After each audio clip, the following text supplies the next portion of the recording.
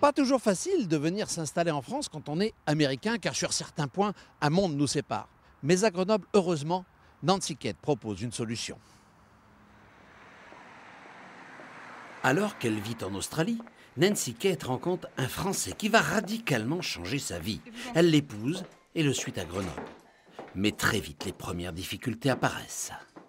Par exemple, euh, le premier temps, euh, une femme de ménage euh, vient à la maison. Je ne parle rien de français et c'est nécessaire pour moi de prendre l'ordinateur et Google Translate juste pour le directive.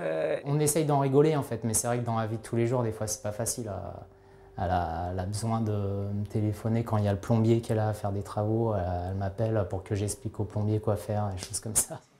Pour aider les expatriés qui, comme elle, ont un peu de mal à s'y retrouver, Nancy Kate crée un blog.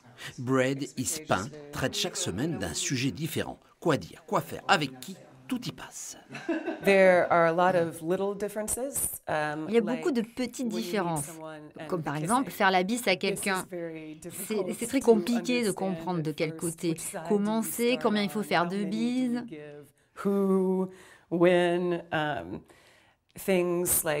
C'est comme pour le dîner. Um, Chez nous aux États-Unis, ça dure une demi-heure. Mais ici, en France, ça peut durer une heure, ça peut durer deux heures, ça peut même durer quatre heures.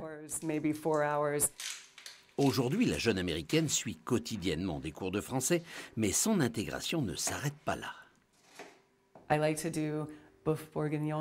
J'aime bien faire du bœuf bourguignon. Je testerai bien le coq au vin.